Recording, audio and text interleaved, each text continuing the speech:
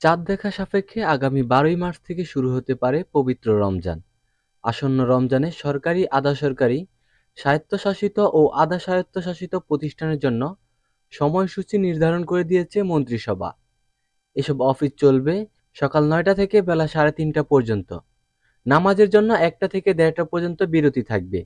এছাড়া ব্যাংক ও আদালত নিজের মতো করে নিজ নিজ সময় ঠিক করবে। গতকাল বুধবার আটাইশ ফেব্রুয়ারি সকালে প্রধানমন্ত্রীর কার্যালয়ে অনুষ্ঠিত মন্ত্রিসভার বৈঠকে এ সময়সূচি নির্ধারণ করা হয়। এতে শেখ হাসিনা সভাপতিত্ব করেন।